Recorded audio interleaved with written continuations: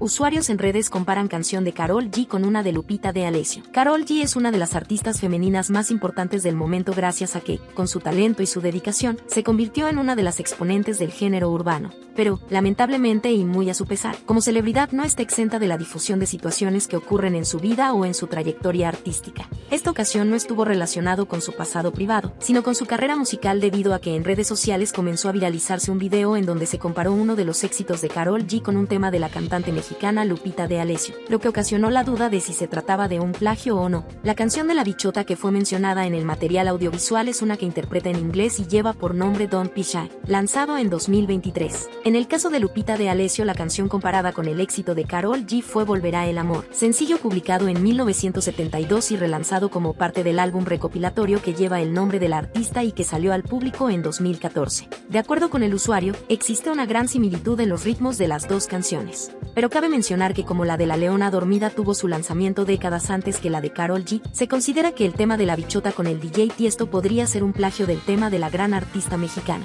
Por el momento Lupita de Alessio no emitió pronunciamiento o respuesta alguna. Por su parte Carol G tampoco ha dicho nada, pero es posible que en los próximos días o semanas, en caso de que la situación pueda intensificarse, alguna de las dos artistas saldrá a dar una respuesta pública al respecto.